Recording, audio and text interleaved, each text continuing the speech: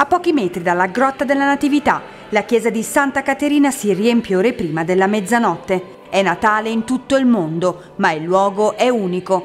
Betlemme si prepara a celebrare la nascita di Gesù. Siamo in viaggio di nozze, siamo sposati la settimana scorsa, giovedì. Abbiamo scelto di venire qui per, eh, per il nostro viaggio di nozze e per trascorrere anche il Natale nella casa di Gesù.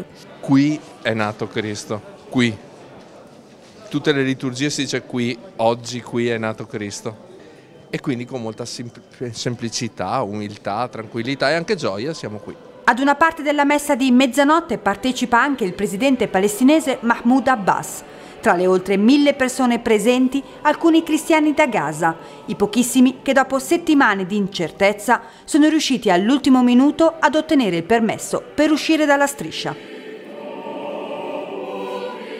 Celebriamo un Dio che da sempre è alla ricerca dell'uomo e che a Natale ha deciso di irrompere nella nostra stessa carne e abitare in mezzo a noi.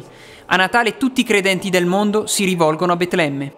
Per Monsignor Pizzaballa, amministratore apostolico del Patriarcato Latino di Gerusalemme, andare a Betlemme significa soprattutto fare proprio uno stile, lo stile di Betlemme.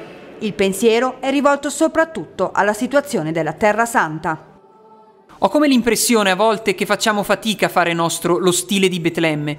Questo succede quando ci stanchiamo di vedere e di riconoscere come ingiusto quanto accade attorno a noi, quando cioè ci rassegniamo ad accettare come normali le separazioni e divisioni della nostra popolazione causate dalla politica o la fatica nella vita di ogni giorno per trovare e per recarsi al lavoro, per spostarsi liberamente.